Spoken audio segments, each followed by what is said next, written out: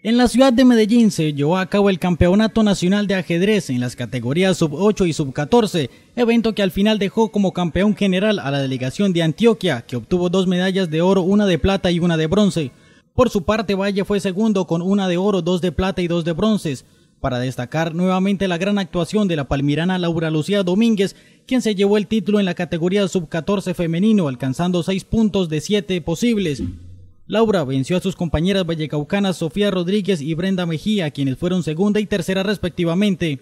Laura Lucía logra así su tiquete directo para representar a Colombia en el Campeonato Panamericano que se cumplirá en el mes de julio en Sao Paulo, Brasil, siendo esta su segunda presencia consecutiva en este certamen continental, del cual es la campeona vigente, título logrado en Lima, Perú en el año 2012. Por su parte, el jugador palmirano Julián David Restrepo se llevó el subtítulo en la categoría sub-8, en donde fue superado por el paisa Joseph Jiménez. Entre tanto, en la categoría sub-14 masculino, el también jugador de la Villa de las Palmas, Santiago Quiñones, se llevó el tercer puesto, capitalizando cinco puntos de siete posibles.